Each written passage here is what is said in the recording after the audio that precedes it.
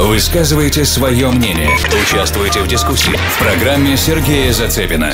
Когда правительство боится своего народа, это свобода. Когда народ боится своего правительства, это тирания. Томас Джефферсон. Неполиткорректное ток-шоу, которое заставит вас думать. США никогда не будут разрушены извне. Если мы дрогнем и потеряем нашу свободу, то только потому, что мы уничтожили себя сами. Авраам Линкольн. Ток-шоу Сергея Зацепина на волне 14.30 АМ. Будь в центре событий.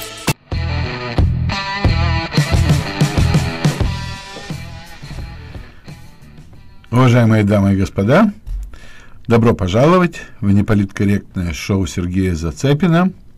А, с вами я, его ведущий этого шоу, Анатолий Червец. Ну, а участники все вы, которые наберете номер телефона 847-400-5200, высказывайте ваше мнение, задавайте вопросы. А, ну и, конечно, все это делайте в э, корректной, желательно форме, не обязательно в политкорректной, просто в корректной форме. Так, теперь нас вы можете видеть и слышать на нашем веб-сайте radionvc.com, на нашей страничке Facebook Radio NVC, ну и, конечно же, на нашем YouTube-канале Radio NVC. Зайдя на этот канал, если вы еще не зарегистрировались там, пожалуйста, нажмите кнопочку subscribe, и вы станете полноправным подписчиком на этот наш а, YouTube канал. А, что еще? Еще хотел вам объявить такую вещь. Многие из вас удивятся, что это он вдруг в это время, когда должен быть с нами Яша Стрельчин, вдруг он выскочил со своим неполиткорректным шоу. Дорогие друзья, Э, ну, к сожалению, Яша Стрельчин немножко себя неважно чувствует в связи с погодой, с, со всеми этими условиями. Ну, знаете, как с простудой бороться очень тяжело. Поэтому он сегодня берет выходной и обязательно с вами увидится и услышится на следующей неделе в его э, нормальное время, то есть э, в час дня. Ну, а пока с вами я, Анатолий Червец. Поэтому давайте общаться. Прошу, прошу сделать мне одолжение, так как э, у нас эксперт по спорту это только Яша Стрельчин. Поэтому ко мне со спортивными вопросами, пожалуйста, не обращайтесь. Все равно я вам ничего толкового не скажу. Ну, а все остальное давайте 847-400-5200 мы начинаем наше шоу, э, начинаем нашу беседу, наше общение. Ну и начнем мы его, э, наверное, таким образом. Я, как всегда, обычно очень внимательно и очень старательно готовлюсь э, к своим вот этим выступлениям а, для вас, дорогие слушатели. А почему? Потому что ну, я четко и очень серьезно верю в факт того, что когда общаешься э, с людьми, нужно апеллировать только фактами, нужно апеллировать правдиво. То, что те мнения, которые я высказываю от себя лично, это является лично моими мнениями. Но факты – дело такое, что с ними не поспоришь. Поэтому я обычно всегда э, стараюсь э, подготовиться к своим передачам. Ну и сегодняшнюю передачу, тему сегодняшней передачи мне, если вы позволите, навеяли пару мнений или выступлений наших радиослушателей, которые, ну вот один из них – постоянно говорит, что мы вечно плачем, мы вечно на что-то жалуемся, нам вечно что-то не годится. Это вот одно такое мнение. И второе мнение – это то, что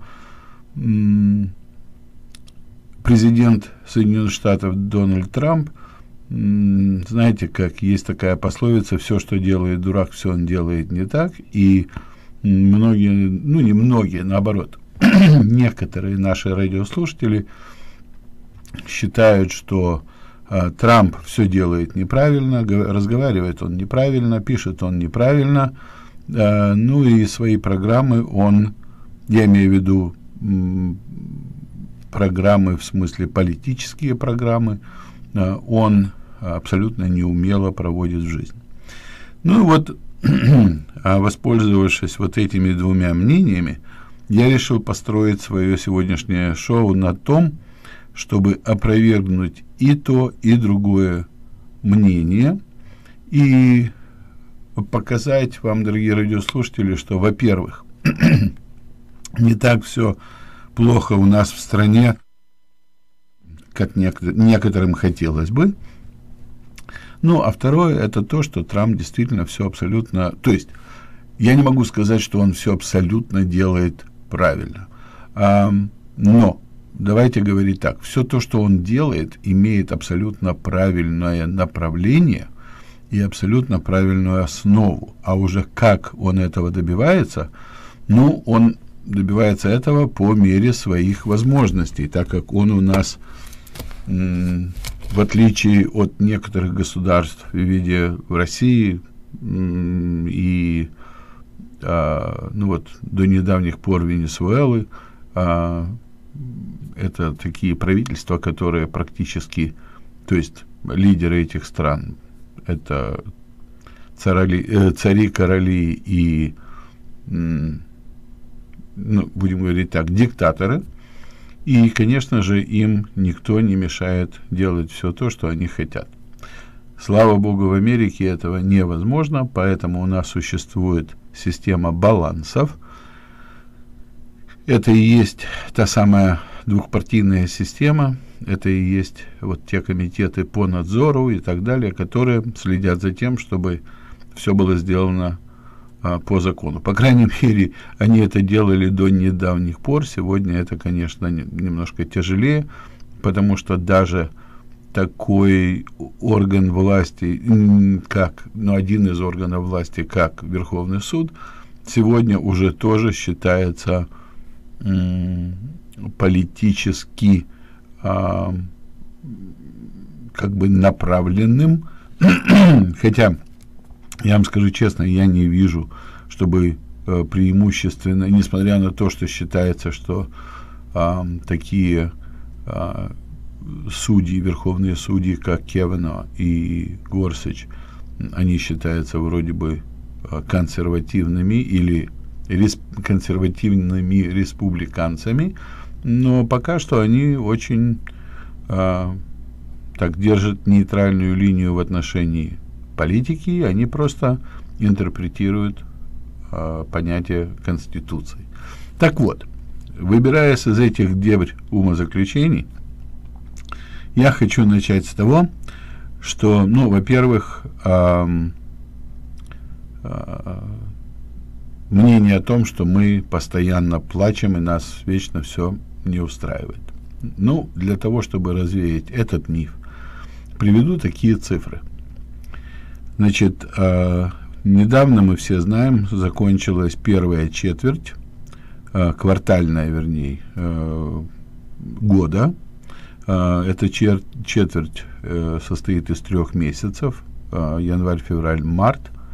И в конце этого квартала обычно компании, не только компании отчитываются о своих заработках, о своих прибылях и о своих достижениях или убытках, но также э, выводится среднее число таких вещей, как unemployment за последнюю четверть или квартал, выросшее так называемое, вернее, состояние GDP, это Gross Domestic Product, и такое понятие, как э, покупная способность э, жителей страны. Ну и такое тоже немаловажное значение, как в каком состоянии находятся зарплаты наших жителей нашей страны. Так вот, в квартальном отчете за последний квартал у меня для вас есть замечательные новости. Во-первых, наша экономика Хотя э, очень э, многие э, экономисты предполагали, что наша экономика за первый квартал вырастет не больше, чем на 2,5%. Почему? Потому что обычно первый квартал это самое тяжелое, будем говорить так, самый тяжелый квартал в отношении прибыли. Потому что считается, что после Thanksgiving, после Black Friday, после э, крисмасовских покупок и так далее. Ну и плюс э, vacations или э, отдых наших э, жителей нашей страны, которые пытаются зимой куда-то уехать, что-то сделать, э, особенно во время зимних каникул. Поэтому считается, что люди в, в основной своей массе особенно не тратят деньги на большие покупки или даже на среднего размера покупки. Так вот, поэтому предположите, э, предположительно э, мы должны были заметить рост прибыли в размере 2,5%. Ну, могу вам сообщить с огромной радостью, что эти предположения не только превзошли себя, но и существенно, потому что наша прибыль в этом квартале в прошлом а, составила 3,2% прибыли. Это действительно что-то, что-то с чем-то. И если мы вспомним о том, что последние 8 лет нашего, то есть президентства нашего, а, в кавычках, э, умного и толкового Барака Обамы, э, наш э, за, заработки по э, именно по, по прибылям составляли где-то в районе от полутора до 1,8%, то получив такую прибыль, как в 3,2%, мы можем ну, с точностью до до цифр сказать, что мы почти в два раза э, превышаем ожидания экономики э, вот во время президентства э, Дональда Трампа. Кроме этого, действительно, unemployment остается на самой низкой точке за всю историю. Э, наш, э, у нас народ все те, которые хотят работать, в принципе, все работают. Все те, которые хотят зарабатывать, все зарабатывают. Никто действительно не обращает внимания на так называемую минимальную зарплату. Почему? Потому что сегодня вообще это разговор ни о чем. А люди, которые сегодня надеются только на минимальную зарплату или на уровень минимальной зарплаты, ну, это люди, которые абсолютно безамбициозные, люди, которые, в принципе, и не стремятся никуда, кроме как э, получить вот эту минимальную зарплату и плюс какие-то дотации от государства в виде либо э, страховок на здоровье, либо э, добавочных так называемых фудстемпов в виде link cards, ну и так далее. То есть государственные программы. Также минимальные зарплаты, я понимаю, что э, нашим э, детям, которые ну, занимаются в последних двух э, классах high school, то есть junior и senior, это возраст 16-17 лет, конечно же, они хотят подработать.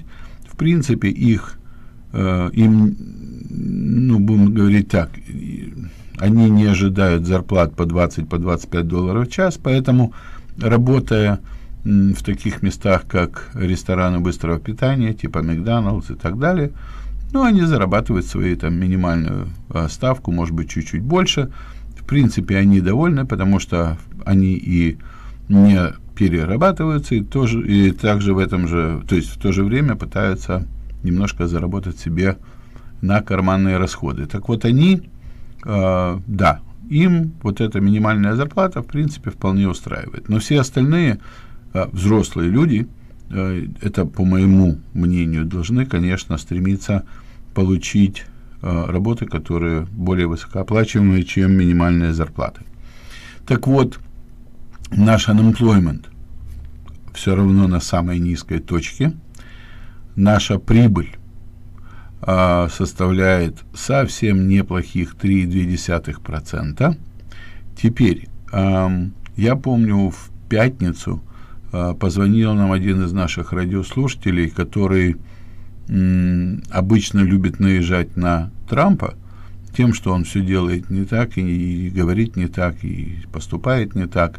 И в то же время, когда я ему задал вопрос, элементарный вопрос, а, он тут же признался, что он в политике не очень силен. Так вот, а, этот человек сказал, что у нас а, наши зарплаты остаются на том же уровне, там какого-то, не помню, как он сказал, не хочу обманывать, на какого-то отсталого времени. ну так вот, даже в этом наш радиослушатель абсолютно не прав. Почему? Потому что наши зарплаты повысились на 3%. То есть, что это значит? Те люди, которые работали в компаниях до прихода Трампа на пост президентства, то есть во времена Обамы, даже во времена, я помню еще время Буша младшего, когда э, зарплаты либо вообще не повышались, либо, если повышались, то на каких-то несчастных там 1%, ну иногда полтора процента. Я имею в виду не для всех, но для большинства, для большей массы. Конечно же, у нас есть люди, которые работали на более высоких постах, может быть, в более профицидных компаниях, которым давали э, повышение там в районе 2%, 3% и так далее, но это было очень малое количество. В основном, э, скорее всего, это были либо frozen повышения, либо это было ну, совсем минимальное, 1%, 1,5%. Так вот, э, наша зарплата э, за прошлый год повысилась на 3,5%.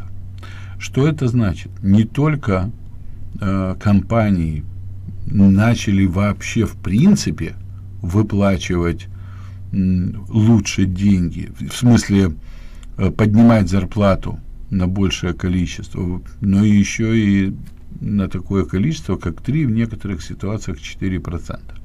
Это говорит о том, что э, наш радиослушатель вряд ли понимает вообще, что такое э, состояние зарплат, и вряд ли понимает тот факт, что все вот это было возможно только благодаря тем налоговым реформам, которые произвел Трамп.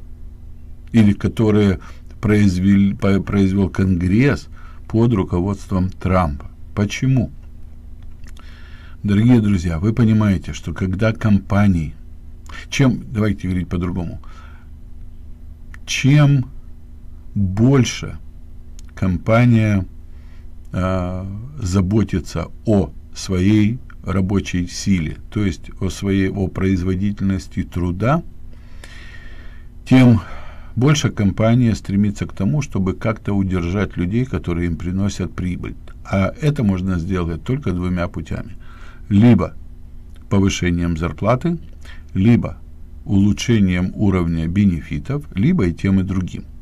Так вот, когда у компании нет денег, когда большинство заработка компании уходит на оплату налогов, компания, конечно же, не имеет той возможности э, дать людям лучшую зарплату или увеличить их бенефиты. Э, хотя мы часто слышим такую вещь, что вот от того, что Трамп сделал налоговую реформу, от этого выиграли только э, компании. Люди от этого не выиграли. Но опять же, это неправильное заявление по одной простой причине.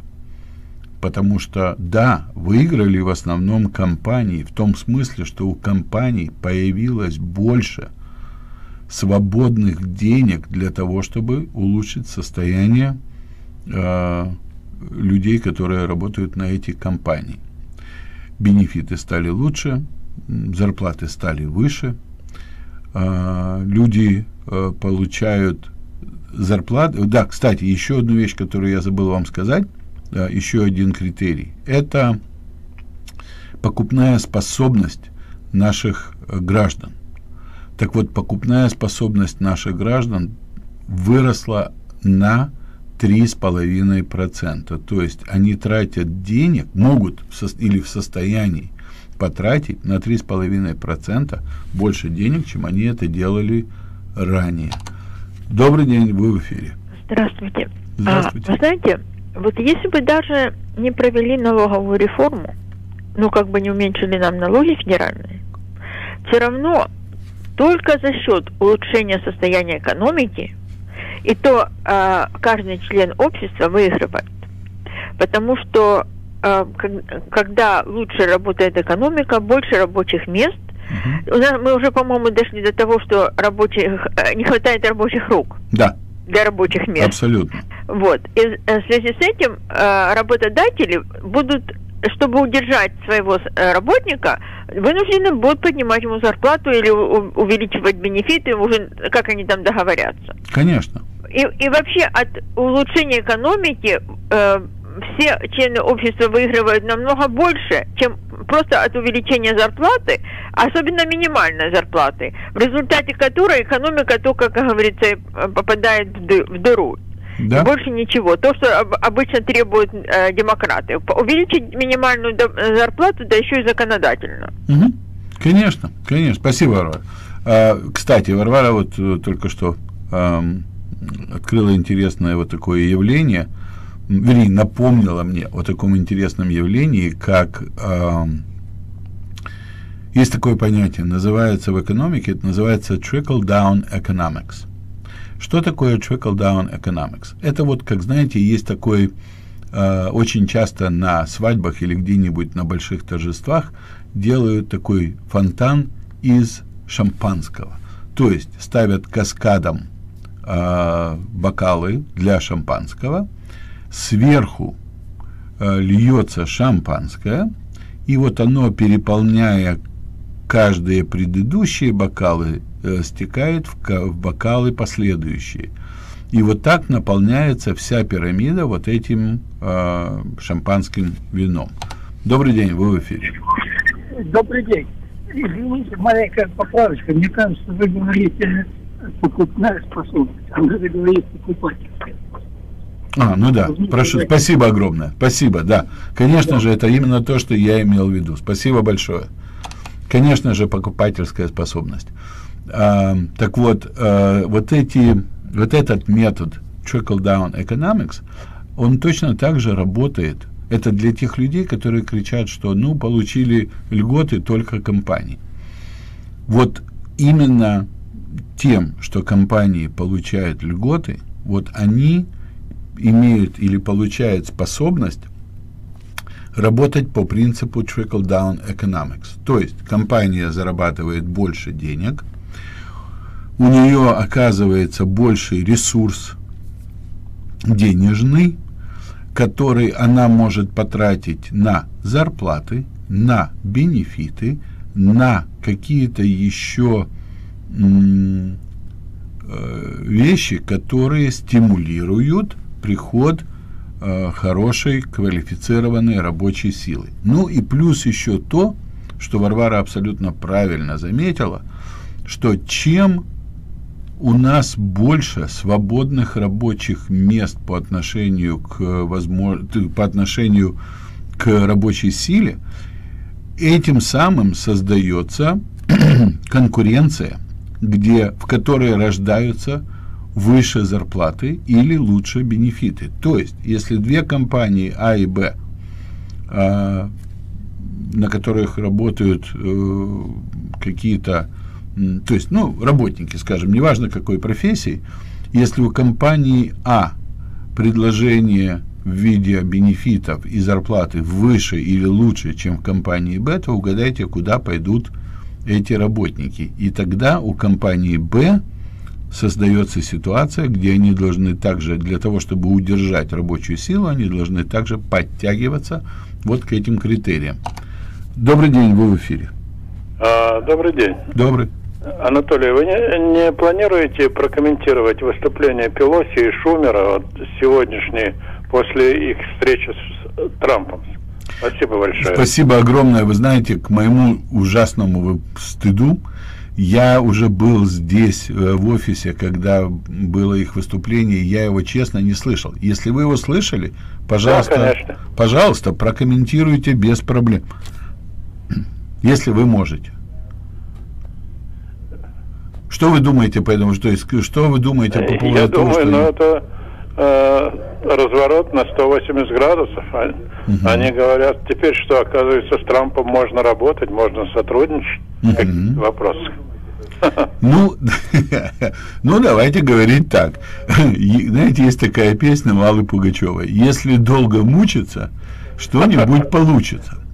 И, знаете, у них, э, ну, мы это должны были, по идее, ожидать. Почему? Потому что, опять же, выборы 2020 года – это не игрушки, и это не, как говорят наши друзья э, э, украинцы, это не абыяк.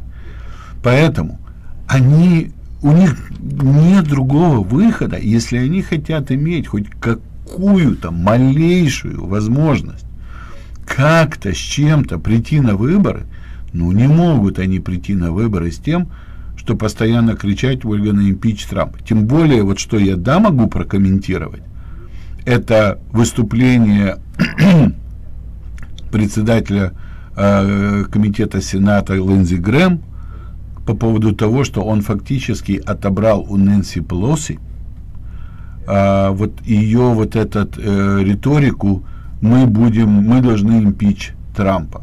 Как он ее отобрал, это очень интересно. Кстати, те, которых это интересует, вот вы только задумайтесь. Выступил Линдзи Грэм и сказал, что я палец о палец не ударю для того, чтобы в Сенате даже подумали о том, чтобы начать слушание по поводу импичмента, импичмента Трампа. Представляете? Это, кстати, он взял, э, за что я его очень уважаю, Линдзи Грэм, с тех пор, как умер э, Маккейн, Линдзи Грэм просто стал абсолютно другим человеком.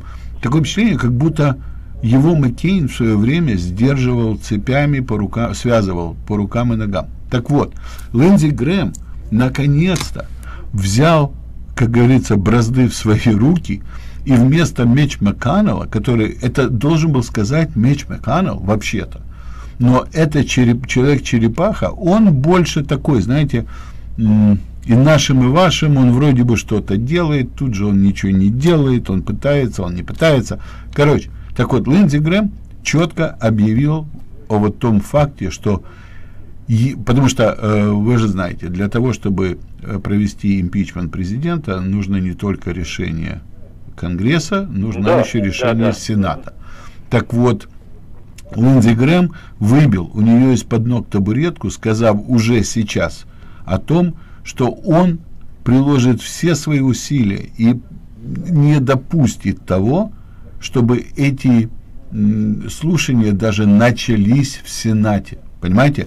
И вот тут у них появилась такая лажа у демократов. То есть, ну, ну а дальше что делать? Мы знаем, прекрасно понимаем, что в Сенате ничего не будет. Кстати, вы заметили, что почему-то вдруг вообще замолчали и Элайжа Каммингс, и Эдам Шеф, и все вот эти вот председатели, даже Максин Уотерс, все вот эти вот председатели комитетов, они почему-то очень сильно заглохли. Почему? Потому что э, они теперь не знают, чего ожидать от э, рапорта генерального прокурора Горовца. Да, все ждем, все ждем. Ну, вот. Огромным нетерпением. Да, спасибо вам огромное. Я немножко тут э, за не успел посмотреть на часы. Значит, мы сейчас прервемся на рекламную паузу и обязательно вернемся к, нашему, к нашей беседе. Спасибо, оставайтесь с нами.